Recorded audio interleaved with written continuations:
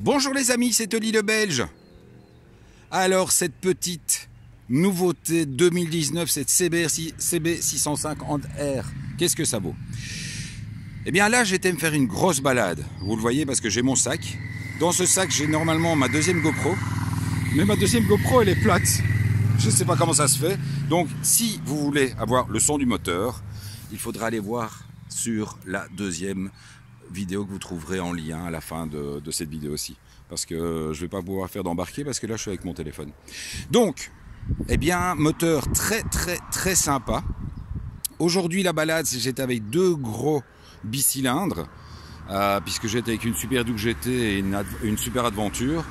C'est clair que sur les petites routes, il faut un peu plus jouer de la boîte. Parce que bon, bah, le petit moulin, le petit 6,5, il envoie bien, mais il faut pas hésiter à mettre des watts. Euh, enfin, il faut pas hésiter à taper des vitesses parce que sinon, euh, euh, sur le couple, c'est un peu plus tendu. Alors, ça fonctionne un petit peu comme un.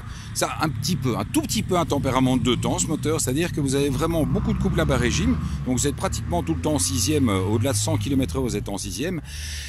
Et puis, bah, si vous avez envie de vous amuser un petit peu, vous retapez deux rapports et vous montez en quatrième euh, jusqu'en zone rouge. Et là, il y a un petit Watts comme ça. Là. Très très sympa ce petit Watts. Euh, la selle, enfin la position, bon, c'est une position de roster, de petit roster. Euh, vu que je suis plutôt grand, enfin j'ai un, un, bon mètre 80, j'avais les jambes un peu repliées et j'ai découvert aujourd'hui un nouveau muscle puisque j'ai réussi à avoir euh, à un moment donné, j'étais super embêté parce que juste dans la commissure euh, du genou, à l'intérieur, j'ai eu un gros gros style de claquage, ça m'a fait vachement mal. Je crois que c'est à force de passer des vitesses, de redescendre des vitesses, de remonter des vitesses. Et euh, malgré que la boîte soit très très souple, ça fait quand même beaucoup sur une journée. On va regarder le superbe tableau de bord.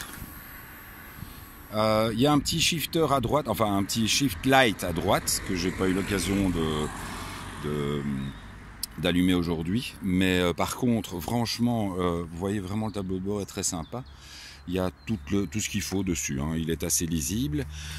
Le, la consommation, euh, j'ai fait 220 bornes avant d'allumer la réserve, ce qui fait un, un 5 litres 5 au 100 avec une balade en mode allemand quand même aujourd'hui. Hein. Donc on va pas dire qu'on a fait de la balade lente, donc finalement 5 litres 5 c'est quand même extrêmement raisonnable pour un petit bouilleur comme ça dans lequel on tire quand même pas mal hein.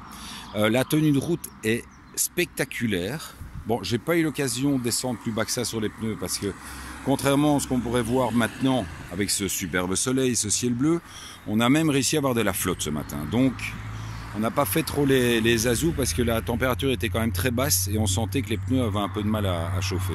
Les pneus donc euh, sont des Metzeler et franchement il y a une très très bonne accroche, ils sont très très prévisibles, c'est vraiment agréable. Alors comme d'habitude sur les Honda, euh, on a l'impression d'être à la maison. Hein. Quand on s'installe sur cette bécane, euh, c'est vraiment bouffe, tout tombe sous la main. Le seul truc un peu que je pourrais reprocher, mais bon là je roule avec des gants presque d'hiver, euh, c'est effectivement clignot et klaxon. Donc euh, ça m'a permis deux trois fois de klaxonner sur les potes en faisant tut et en fait je voulais juste retaper, retaper gentiment, enfin éteindre gentiment mes, mes clignots mais ça marchait pas. Le phare avant est très chouette. Alors comme vous le voyez, enfin j'espère qu'on va le voir, le petit truc à l'américaine, donc les clignotants qui restent allumés tout le temps, c'est pas mal. Euh, dans un groupe, c'est assez cool pour la personne qui est devant parce que ça permet de reconnaître la moto, de savoir que vous suivez. Euh, le bon, on en revient ici un petit peu à l'arrière. C'est un peu comme euh, c'est un peu comme toutes les bécanes actuelles. Hein. ça protège pas de grand chose. Là, bon, là pour le coup, elle était toute propre ce matin. Merde, elle est dégueulasse. Mais bon, voilà, ça fait à peu près son office. Faut pas faire trop les farces. faut pas faire trop les farces sous la pluie. Voilà donc, alors, on va annoncer la semaine prochaine. La semaine prochaine, on reste en CB. Mais pour un comparo à deux, en 500, puisqu'on aura la chance d'avoir la CB 500 et la CBR 500. Autre vidéo qui va suivre, euh, très certainement.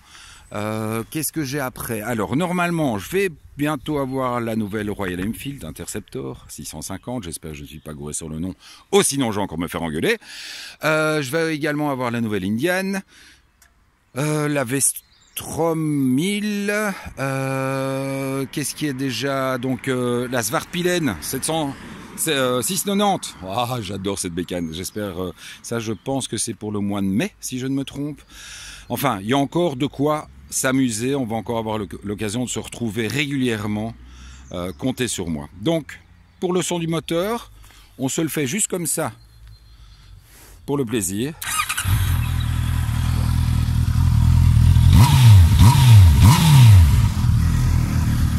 Fait pas trop Éthiopie, hein. hein. Franchement, ça fait pas trop Éthiopie. Ça fait très sympa. Donc, euh, bah, on se retrouve bientôt, les gars. Ah, ciao. N'hésitez pas à continuer à mettre des commentaires. Vous le savez, je j'y réponds, même s'ils sont méchants. M'en fous. Faites-moi mal. J'adore ça. Ciao, les gars.